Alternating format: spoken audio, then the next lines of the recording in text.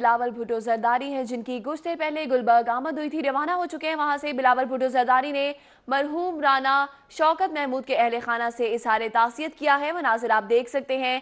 آپ دیکھ رہے ہیں کہ انہوں نے اہل خانہ سے اظہار تعصیت کیا ہے۔ رانا شوکت محمود کے گھر پہنچے، وہاں انہوں نے اہل خانہ سے اظہار افسوس کیا۔ مرحوم رانا شوکت محمود سابق صدر پاکستان پیپلز پارٹی، پنجاب بھی رہ چکے ہیں۔ بتا رہے ہیں آپ کو چیئرمین پاکستان پیپلز پارٹی بلاول بھٹو زرداری کی گلبرگ آمد کے حوالے سے بلاول بھٹو زرداری نے مرحوم رانا شوکت محمود کے اہل خانہ سے اظہار تعصیت کیا اور مرحوم رانا شوکت محمود سابق صدر پیپلز پارٹی پنجاب بھی رہ چکے ہیں۔ رانا شوکت محمود کے اہل خانہ سے انہوں نے اظہار تعصیت بھی کیا ہے۔ کچھ دیر پہلے چیئرمین پاکستان پیپلز پارٹی بلاول بھٹو زرداری کی گلبرگ آمد ہوئی۔ آپ دیکھ رہے ہیں کہ انہوں نے اہل خانہ سے اظہار تعصیت کیا ہے۔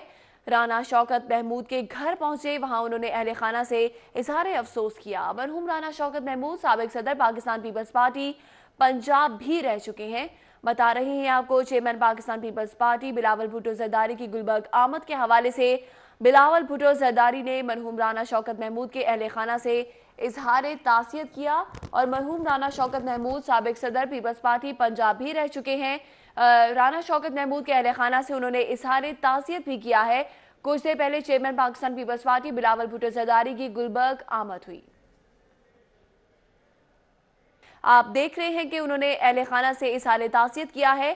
رانا شوکت محمود کے گھر پہنچے، وہاں انہوں نے اہل خانہ سے اظہار افسوس کیا۔ مرحوم رانا شوکت محمود سابق صدر پاکستان پیپلز پارٹی پنجاب بھی رہ چکے ہیں۔ بتا رہے ہیں آپ کو، چیئرمین پاکستان پیپلز پارٹی بلاول بھٹو زرداری کی گلبرگ آمد کے حوالے سے بلاول بھٹو زرداری نے مرحوم رانا شوکت محمود کے اہل خانہ سے اظہار تاثیت کیا اور مرحوم رانا شوکت محمود سابق صدر پیپلز پارٹی پنجاب بھی رہ چکے ہیں۔ رانا شوکت محمود کے اہل خانہ سے انہوں نے اظہار تاثیت بھی کیا ہے۔ کچھ دیر پہلے چیئرمین پاکستان پیپلز پارٹی بلاول بھٹو زرداری کی گلبرگ آمد ہوئی۔